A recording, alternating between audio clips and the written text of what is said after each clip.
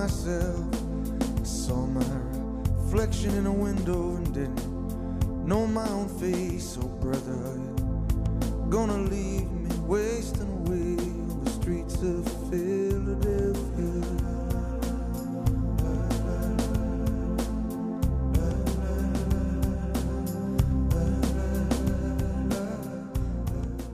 Júnior, há homens que são necessários durante um período de tempo.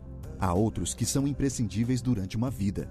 Você, para mim, para Maitê, para os seus familiares e para a sociedade, é sentido e percebido dessa maneira. Oportunamente, no seu aniversário, estamos registrando o que para nós já é perceptível há muito tempo. Impossível não ver através de uma escuta sensível o que expressa no sorriso, na expressão fisionômica, nos gestos e principalmente na seriedade da sua fala.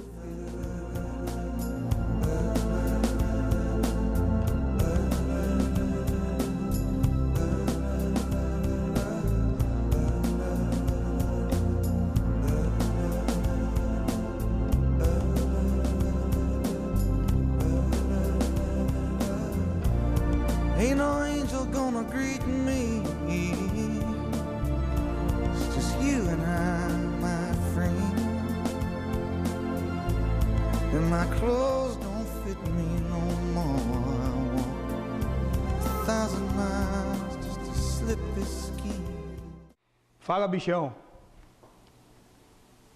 Diz uma fábula que o vento desafiou o sol para ver quem conseguiria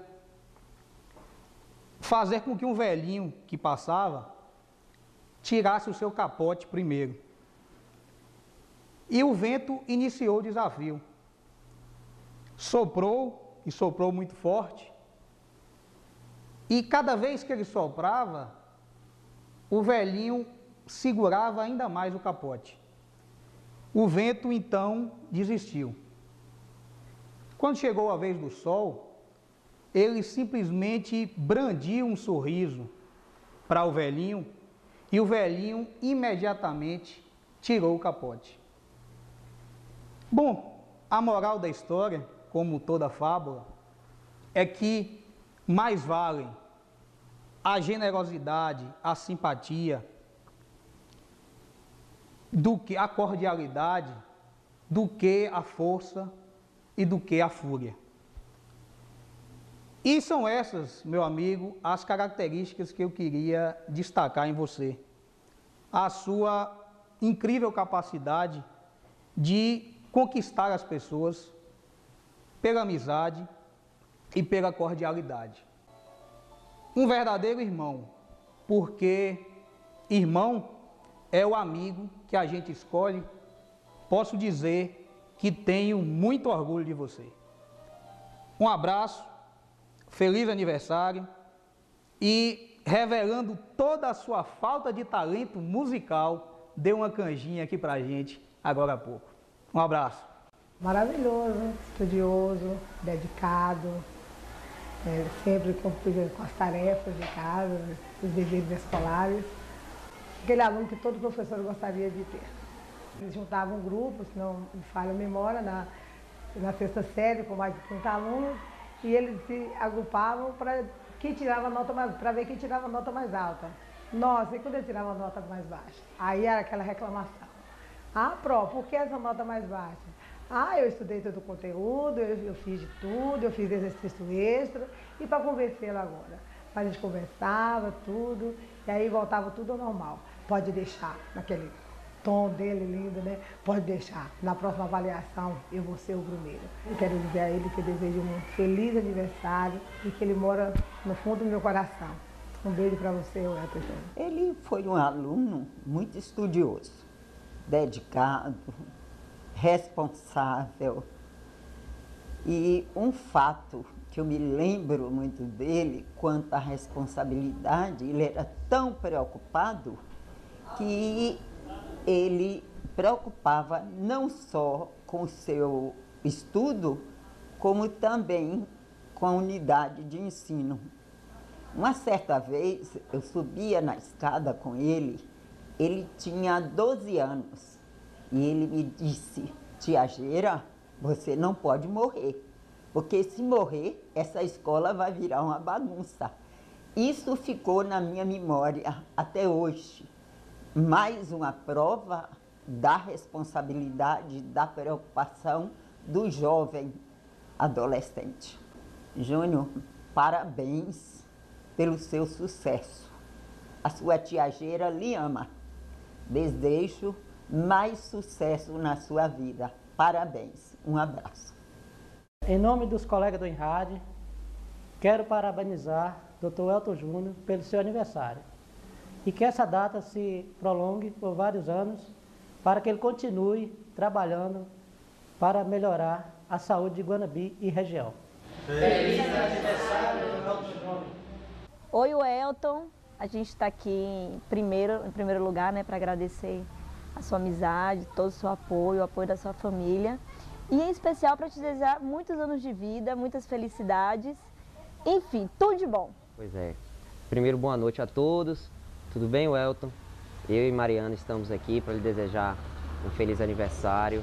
Né? Você que é uma pessoa é, muito gente boa, feliz, né? E que nos proporcionou no momento que a gente mais precisava de um auxílio, de um apoio. Então, você merece tudo de bom. É o nosso desejo, a nossa família, para com sua família também. Uma boa noite, parabéns. E feliz aniversário! Acompanhei seu crescimento desde criança, na escola, né? tive a oportunidade de ter convivência familiar, uma convivência tal saudável. É realmente uma pessoa fora de série, um menino que teve um crescimento muito grande, hoje um profissional excelente aqui em nossa cidade e que merece todo o nosso respeito, nossa admiração, consideração a você, Júnior, nesse momento oportuno do seu aniversário. Desejo aqui meu nome, em nome de minha família, tudo de bom, é, aceite o nosso afetuoso abraço e que Deus o proteja. E ele, desde criança, eu sentia que ele seria um homem de sucesso, pelas atitudes que ele sempre teve, desde, desde pequenininho. A gente logo enxergava isso nele, que era um homem de valor, né? que seria um homem de valor e teria muito sucesso, que é muito determinado nas coisas que ele queria. E eu tenho uma desculpa a pedir a Júnior, porque quando ele era pequenininho e que vinha passar o dia na minha casa, eu fazia um suculento suco de beterraba e eu acho que isso fez com que ele detestasse beterraba. Desculpe, Júnior, mas foi, a intenção foi boa. Ele é, é, merece tudo de bom na vida, porque ele sempre foi um menino muito aplicado, muito estudioso. Eu pude acompanhar isso até na escola também. E parabenizá-lo pela família linda que ele é, constituiu, que Berta e Maitê são uns amores e desejar ele mais uma vez que seja muito feliz e que sabe que eu considero como um filho também, o filho do coração. E eu te amo. Um beijo do coração. É um prazer e um privilégio compartilhar de seu aniversário, porque você é uma pessoa iluminada, é um desses seres raros a quem eu muito admiro. E sinto-me também honrado e orgulhoso de você me tratar de tio não da forma carinhosa com que os jovens tratam os mais velhos, mas porque você me tem como um verdadeiro tio, um quase tio, e isso é muito significativo para mim. Finalizando, como um brinde simbólico, como faziam nos filmes antigos, e que viva 100 anos. Eu espero que você passe incontáveis aniversários e complementando, feliz ao lado de sua esposa, de sua filha e da família, que vocês são maravilhosos. Bom, Júnior, é, estamos aqui agora realmente para ver se consegue pegar você de surpresa né, nesse aniversário que a gente vai comemorar com você amanhã, no dia. Na verdade foi dia 3, mas a gente vai comemorar amanhã no dia 10, depois do show do chiclete, né? Que é hoje. Mas eu queria lembrar você para que você se esforce mais um pouquinho ano que vem, para que você consiga ganhar de mim aquela corrida lá em Rio Quente, para que você não passe tanta vergonha como você passou lá. E quero dizer também que, na verdade, não é nem dizer, desejar para você toda a felicidade do mundo, que todos esses anos que venham ainda pela frente a gente possa comemorar como estamos comemorando é, hoje com você e desejar toda felicidade, que você seja muito feliz nessa sua caminhada. Eu tenho para falar de Júnior é o seguinte, Júnior é uma pessoa muito especial, sempre o conheci, mas só agora que eu tive o prazer de ter um contato maior com ele, com Berta, e pude perceber a pessoa digna que ele é, de bom caráter, um amigo especial mesmo. Eu estou muito feliz de fazer parte desse ciclo de amizade. Então, Júnior, parabéns, tudo de bom para você de coração. Espero sempre estar por perto de você, Berta e Maitezinha. Beijinho, fica com Deus. Gostaria de, de aproveitar o ensejo aqui, Welton, para te parabenizar né, por essa pessoa maravilhosa, extraordinária que você tem sido. Né, desejar sucesso nessa carreira sua uma vez que você já tem superado, já é um profissional que tem demonstrado aqui em Guanambi capacidade e desejar a você um feliz aniversário, que você precisar desse amigo aqui, estarei sempre à sua disposição e tenho certeza que essa amizade durará eternamente. Muito obrigado, Elton. Quero que você seja feliz, você, sua esposa, juntamente com sua filha, né? que, que Jesus, Deus, é, esteja sempre em seu lar trazendo paz, alegria e principalmente sucesso, que eu tenho certeza que você, esse profissional capacitado que você é, merece e já tem.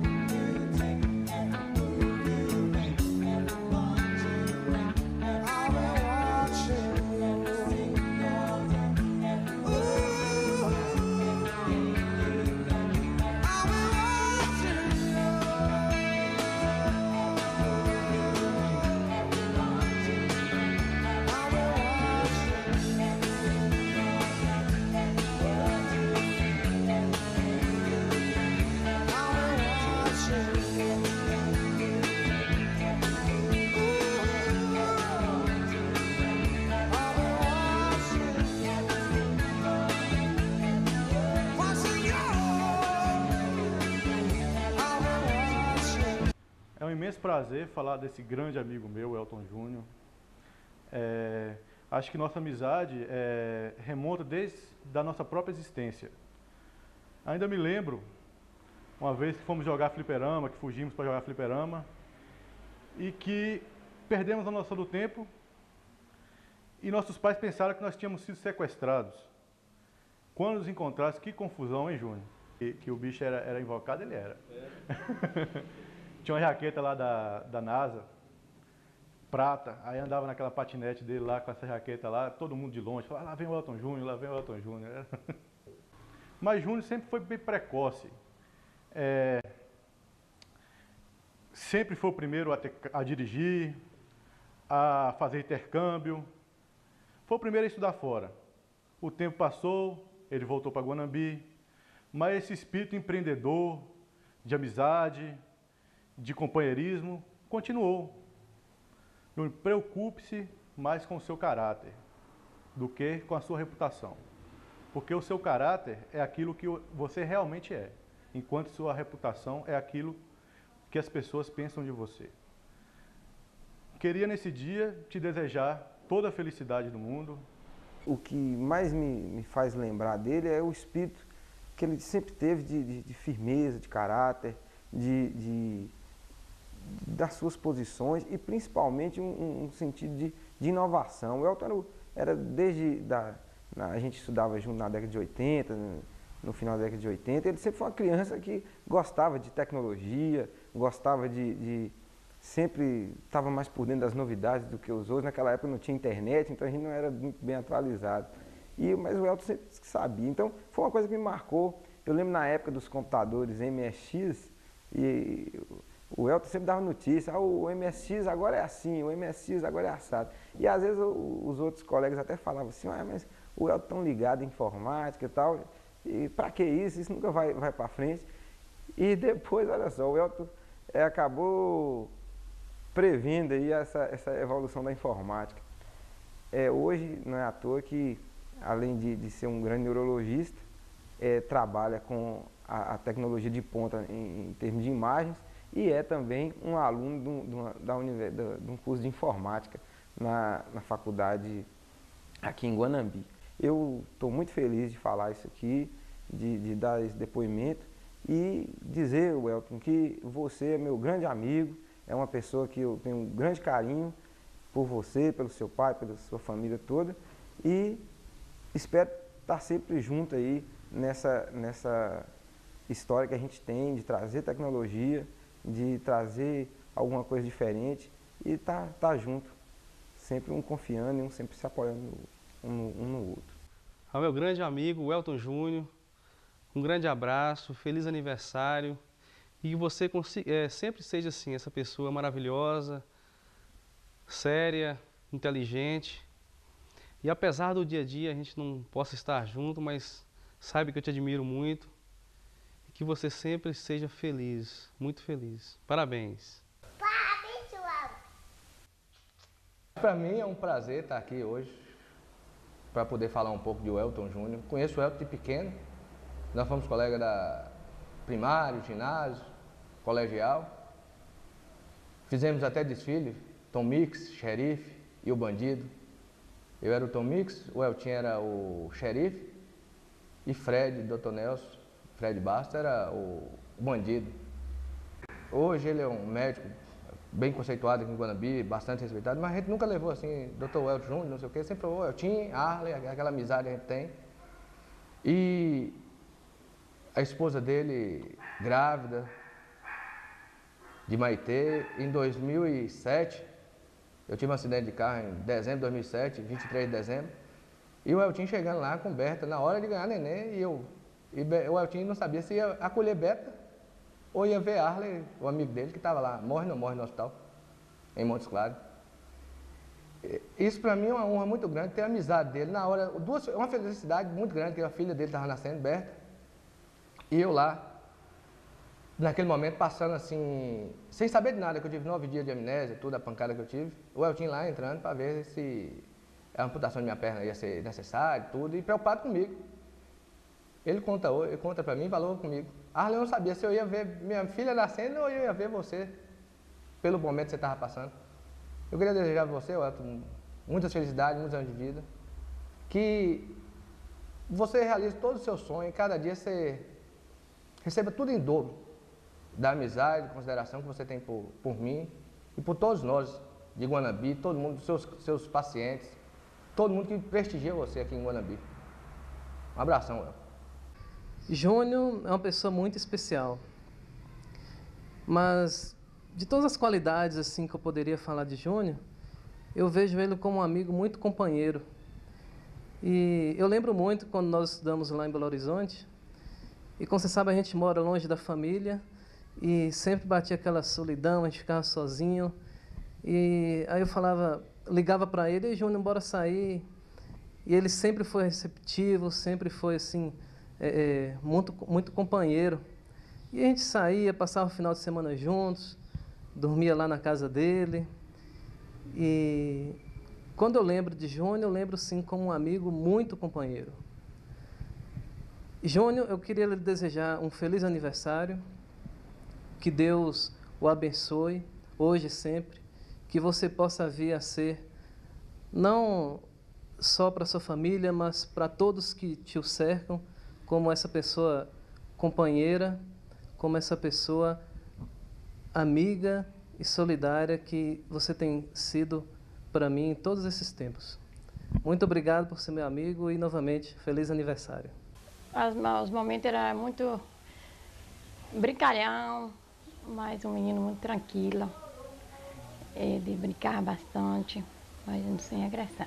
Sou considerada como a segunda mãe dele. É profundo. O amor dele é no, no meu coração. Ele é, ele é uma pessoa muito boa. É, eu quero que Deus abençoe ele todos os anos. Sempre um menino um, como ele é e mais até o final do, da vida dele. Joel, parabéns, tudo de bom. Felicidades, Joel, Deus te abençoe. Parabéns, meu amigo. Deus te abençoe. Nas pregas. Alô, Elton, tudo bem? Hoje estou aqui para parabenizá-lo por mais um ano de vida.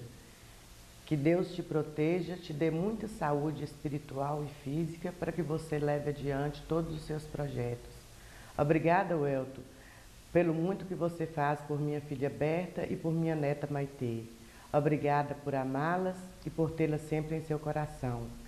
Que Deus te abençoe muito nessa longa caminhada de pai, de esposo e profissionalmente também. Sou orgulhosa por tê-lo como membro de nossa família.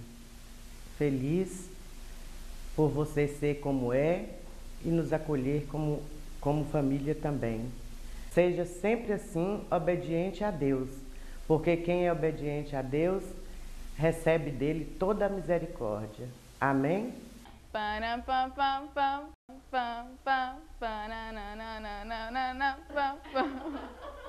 Eu lembro. Tô aqui aproveitando, né? Eu sou a estrela da família, você como meu empresário não podia ficar fora dessa.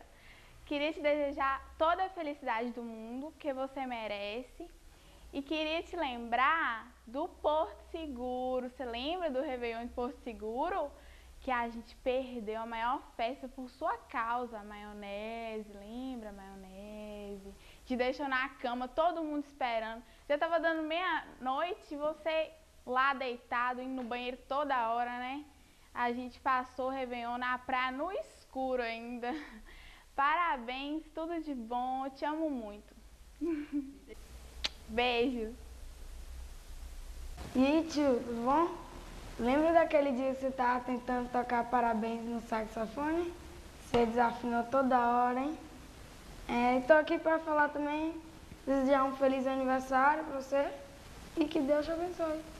Quando ele era recém-nascido, eu falei, esse menino vai ser um menino de ouro.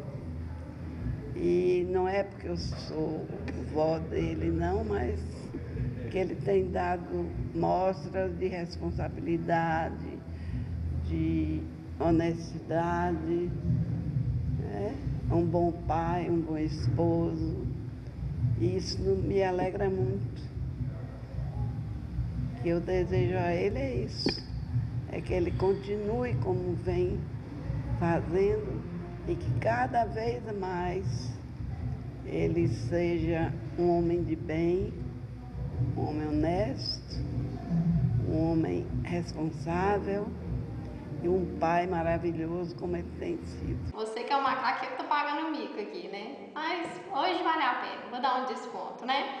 Tava aqui pensando em algumas histórias, algumas historinhas para contar, né? Já que eu tô falando de você, eu tenho que falar alguma coisa, né? Para poder alegrar a galera aí, né? Então eu tava pensando em algumas coisas que a gente já viveu e a gente já viveu muita coisa junto, desde quando gente, que eu saí de casa, eu fui morar em Montes Claros com você. E a gente já passou vários episódios muito engraçados, né? Desde o, e, e deixa o vento me levar, né? Até as coisas que você fazia pro Sidão. Aquele dia que você pegou Sidão, gente, é a, é a funcionária que trabalhava com a gente lá em Montes Claros, tá? E ele no primeiro, no segundo, no máximo terceiro período de medicina, chegou em casa um belo dia. Ah, Sidão, vamos drenar aquele cisto sebáceo que você tem nas costas, já aprendi e tal. Nada, que aprendeu nada, né? E se dão, vamos, doutor, né? E eu também naquela, nossa, entro na faculdade de medicina, aprendi rápido as coisas, né? Então vamos, você só auxiliar, né? Entramos dentro do quarto com essa Sidão e lá vem junto o doutor com máscara, luvinha, o bisturi. Vamos sem anestesia mesmo, que anestesia não precisa não, não pega, né? E deita, coitada da Sidão, e lá vai com o bisturi, né? E a Sidão, ai, tá doendo, e tá doendo. Não, mas isso é normal, é assim mesmo e tal. E a coitada sofrendo e eu achando o máximo. Nossa, meu irmão, doutor, né, e tal. E a coitada ela sofrendo, assim, não, sucesso, foi um sucesso, a cirurgia foi ótima, sucesso, e a coitada continuou com cisto do mesmo jeito, não adiantou nada. Então que você seja muito feliz, tenha muita paz, tá? Nesse dia, muito juízo, tá bom? E tô chegando aí pra gente tocar o bar, pra gente viver junto, tá? Todo mundo unido, todo mundo feliz, se Deus quiser. Ih, macaco, pegamos você no flagro, né? Pois é, só que acontece que aqui não vai ser arquivo confidencial não, aqui vai ser entregação, viu meu filho? O povo te vê aí, doutor Júnior, pessoa séria. Agora eu vou te entregar, viu? Um final de semana, um sábado à noite, eu na maior força, ele também, eu estudando no meu quarto e ele estudando no quarto dele, né? Pensa, sábado à noite, que tédio. Aí tô lá estudando, vem a porta, toque, toque, toque, toque. O que é, Júnior? Não me atrapalha não que eu tô estudando. Você não tá ouvindo barulho, não? Não tô conseguindo estudar com esse barulho, não. Eu é mesmo, deixa eu ver o que que é. Aí a gente foi lá na janela do quarto dele, como, quando a gente olhou pra baixo, adivinha? Um monte de travesti gritando, ai, ai, fazendo maior escândalo, gritando, fazendo maior estardalhaço, a gente nada de conseguir estudar. Aí Júnior falou assim: quer saber de uma? Bora pegar aqueles balões ali, encher de água e tacar na cabeça desses travecos pra eles aprenderem a calar a boca. Tá bom, eu fui lá, peguei, enchi de água. Ele calculou na hora que o, o sinal lá embaixo fechou, que os carros pararam, os travestis estavam no escândalo e pá! E só via travesti gritando: ai, ai, ai, ai, meu cabelo. Feliz aniversário, muitos anos de vida e que ele deixe mais correr mais para fora esse molecão que ele é, deixar um pouco o médico sério de lado e curtir mais a vida, ser mais moleque que eu sei que ele é ainda. Quando ele era menorzinho, eu queria tirar uma foto dele chorando e ele não era chorão. E falei, vou dar umas palmadas para ver você chorar, que eu quero tirar uma foto sua você chorando. Não que ele não chorasse, mas ele chorava muito pouco. E aí eu tirei essa foto. Eu, inclusive, passei essa foto para a Berta. Tem ele chorando, provocado por essa, essa agressão injusta. para tirar uma foto para colocar no álbum Júnior chorando. Teve uma passagem interessante na vida de Júnior, que ele me chamou de mãe grata, porque ele falava assim, eu nunca vi uma mãe ser contra um filho.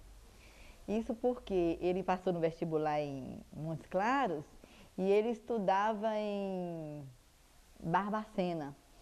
E lá era escola particular. E eu queria trazê-lo para Montes Claros, além de estar mais próximo da gente, e era uma escola pública, uma escola estadual. E ele chorou, e nós fomos lá para a pizzaria para Paula, e ele chorou muito, inclusive tinha um garçom que consolou, falou, você vai encontrar uma moça bonita aqui, você vai casar, você vai ver, ele fez amizade com esse garçom, e toda vez que a gente ia lá a Montes Claros visitá-lo, e ia para Paula, é uma pizzaria, e a gente perguntava, e aí, já arrumou a moça bonita, a moça que você vai apaixonar? Ele, nos primeiros tempos, insatisfeito, falava que não, revoltado com a mãe, né? Até que um dia ele me agradece, porque ele encontrou lá em Montes Claros a sua cara metade. E não é mentira, porque tá aí para todo mundo ver que ele conseguiu. Ele, um menino grato, um menino alegre, um menino. A gente vê que ele é um menino feliz. E hoje, no seu aniversário, eu quero que Deus te abençoe, a você e toda a sua família. Para você, um beijo. Bom, falar de Welton Júnior, para mim é coisa assim, simplesmente maravilhosa. O Welton Júnior foi o maior presente que Papai do Céu me deu e que me foi entregue por uma mulher maravilhosa, a sua mãe, Dona Druísa, que tão bem o soube criar e educar.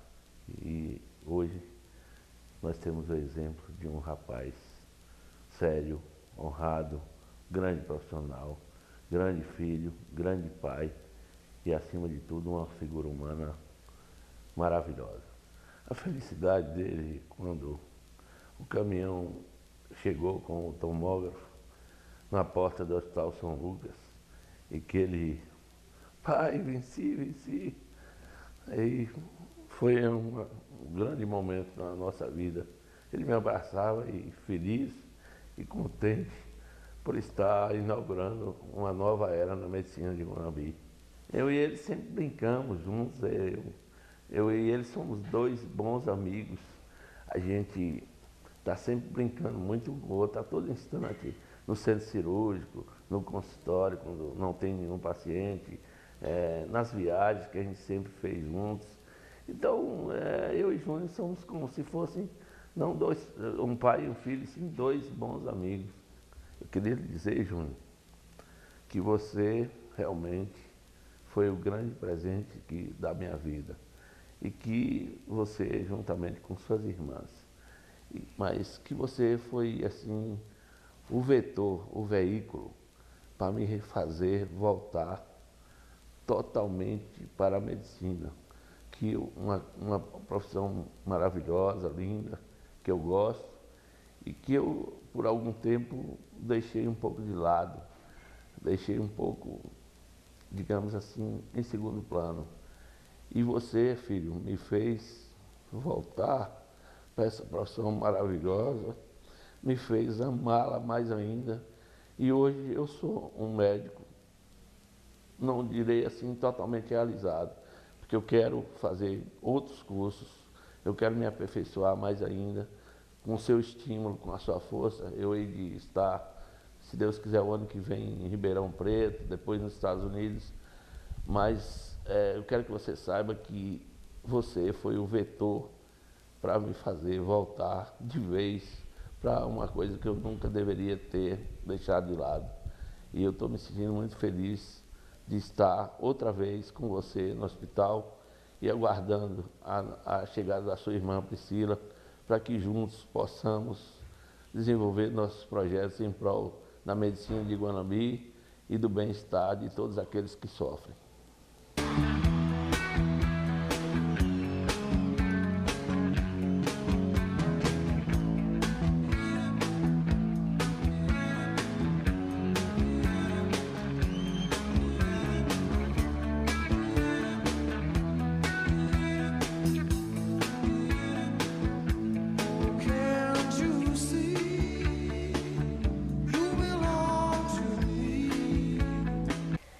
Amor, estou aqui para falar é, do meu amor por você, da, da, nossa história, de tudo que você representa para mim. É, pensar que tudo começou por causa de uma calça rosa, lembra aquela cantada velha, mas funcionou, que bom que funcionou. É, que bom que você aceitou morar em Montes Claros, porque você nem queria, porque senão talvez a gente nem estivesse juntos hoje. É, a gente teve, nosso relacionamento foi muito engraçado, nosso namoro, anos de luta. Que bom que eu lutei por você, que eu nunca desisti desse amor. É, a gente tinha até torcida contra, torcida a favor. É, e por ironia do, do destino, as pessoas que mais acreditavam no nosso amor, infelizmente não estão aqui né, para compartilhar esse momento com a gente, mas eu sei que de onde elas estiverem, elas estão é, orando por a gente, pensando na gente, que era meu pai e Vanessa, que eles verdadeiramente acreditavam no nosso amor e nos defendia, né? É, agradecer por tudo que você faz por minha família, que você fez, é, dizer que que eu sinto por você não tem como transmitir em palavras que você realmente é a luz do meu caminho, você realmente é minha vida. Obrigado pelo presente divino, pelo presente maravilhoso que você me deu, que foi Maitê, que é tudo na nossa vida. Eu adoro chegar em casa e ir para cama, cama, cama, eu, você e o Maitê, e a gente brincar, ficar juntos, viajar. É, você, para mim, é exemplo de tudo. É, seu nome é sinônimo de honestidade, simplicidade, humildade, amor, perseverança. Você me ensinou muita coisa, a nunca desistir do, dos meus sonhos, dos meus objetivos.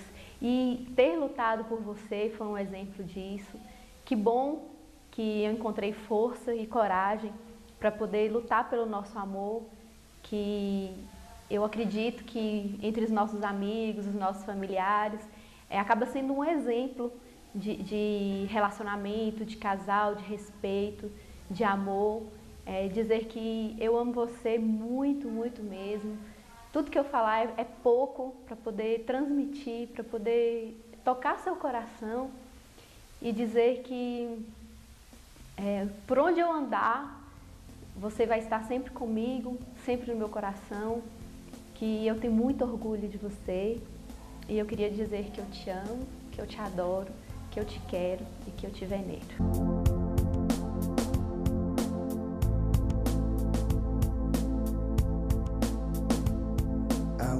bruised and battered, I couldn't tell what I felt. I was unrecognizable to myself. I saw my reflection in a window and didn't know my own face. Oh, brother, gonna leave me wasting away on the streets of Philadelphia?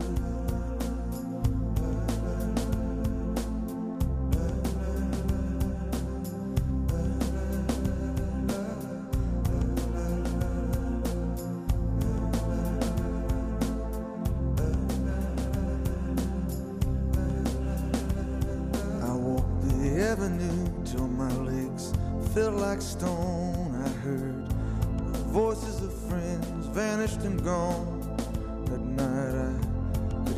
Blood in my veins, just as black and whispering as the rain on the streets of Philadelphia.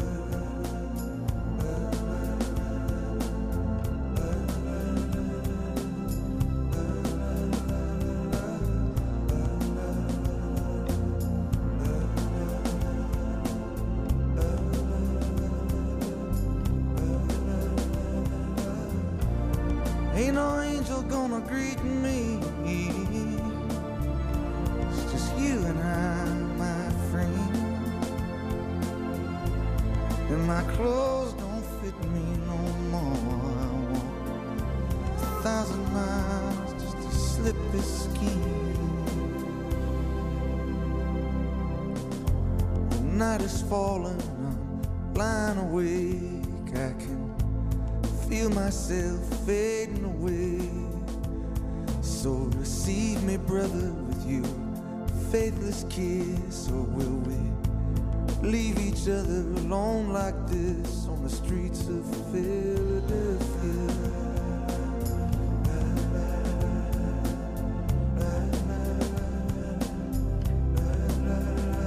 Traz impregnado nestes gestos a responsabilidade de pai, de esposo, de filho, de amigo e, sobretudo, de um profissional compromissado com o seu fazer cotidiano.